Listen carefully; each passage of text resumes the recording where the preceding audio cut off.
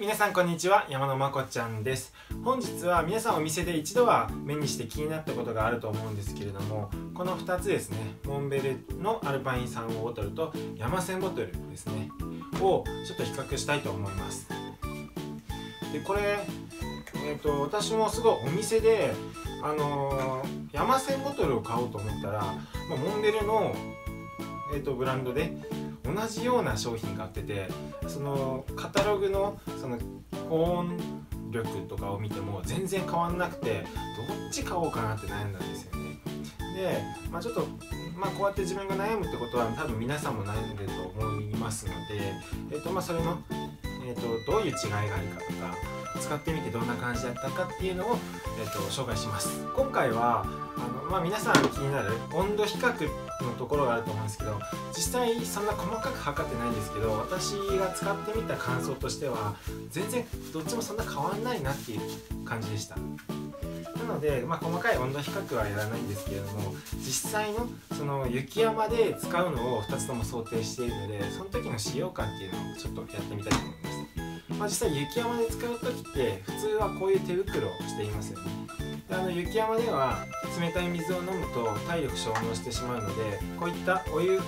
の中にお湯を入れてそれを水代わりにして飲むっていうのがあのいいんですけれども。まあ私も基本そう使っています。まず値段なんですけれども、えっと、値段はまこっちの方が皆さんに比べてすぐ分かると思うんですけどまあ安いですよね。で重さに関しても、えっと、こっちの方が軽いですね。実際軽いです。まあ、本当にわずかな差なんですけれども軽いですね。じゃあ使い心地はどうかっていうとまあちょっと手袋を使ってやってみるんですけどもここここのゴムがこの山線ボトルはここのところにゴムで滑りにくくなってるので結構開けやすい。であとここら辺がですねうんとなんかこうやって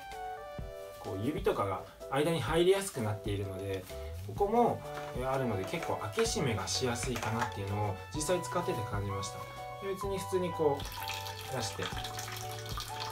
閉めてでキュッとやる感じですよね。でそれに比べてモンベルの場合は、まあ、上はゴムになって滑りにくいんですけどこの辺にはゴムで滑りにくいやつがないんですよね。で実際にちょっと使ってみたんですけどここ今こうやって、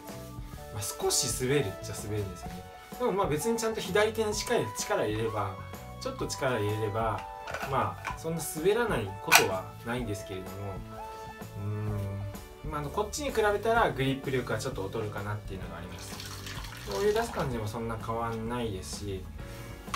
あのまああんまりぶっちゃけ変わらないんですけど本当にわずかな差でこっちの方がちょっと開けにくいかなっていうのは使ってて感じましたね。で今ちょっと薄手の手袋なんですけれどももうちょっと分厚い手袋でちょっと試してみたいと思います。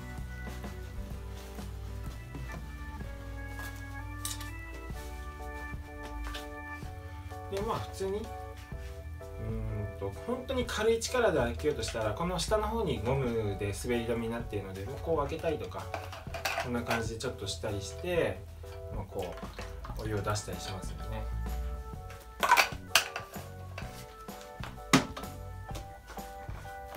でこっちもまあ実際よくよく今持ってみるとこのゴムの部分とかあんまり持たない。こんな上あんま持たないかなっていうのを使ってて思うんでまあそのこういったゴムの分とかの無駄を省いたモンベルのやつの方が、まあ、その分軽くなってるのかな安くなってるのかなっていうのを感じますね、まあ、使い心地は、まあ、全然ぶっちゃけ変わらないし温度もそんな変わらないです。であのー、さらに、えっと、一つ大きな違いとしてはこっちの山線ボトルだと専用のボトルカバーがあるんですよね。専用のボトルカバー。専用のボトルカバーをつければ、まあ、若干保温力は高いかなぐらいな感じになっていて特にモンベルのこっちは専用の、えーと、カバーっていうのがないんですよね。であの、まあ、専用のカバーつけるとこの辺が傷つかなかったりして、まあ、綺麗に保っておきたいと。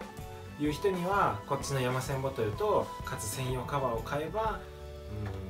まあおしゃれにっていうか綺麗な状態でえーと、これを持つことはできるんじゃないかなと思うんですけど、まあ、また別売りの専用カバーを買わなきゃいけないので、まあ、結構値段は上がりますよね。でそれに比べて、まあ、こっち専用カバーないのでもうそのまま使うんですけどまあいつか傷ついてボロボロになると思うんですけど、まあ、水筒ってそもそもそんなもんなんじゃないかなと思うんですよね。なので僕はうんまあ気にしない。であとそうそうそう。もう一つ違いとしてはこっちのモンベルモンベルの方だとこれ1個だけなんですよ。これ1個だけ。こっちの山線ボトルだと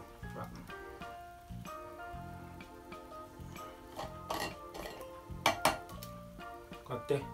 開けるとさらにこうやって2つになるんですよね。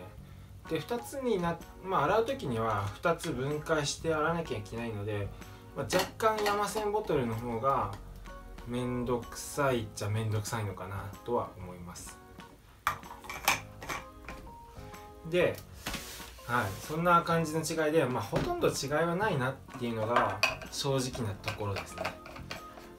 い、もうあとはえっ、ー、とまあどうしても専用カバーを使いたいんだったらこっちの山線ボトルを買った方がいいと思いますしそういうのいらないからあとデザインも特に気にしないからとにかく安く抑えたいっていうのであればこちらのモンベルの方を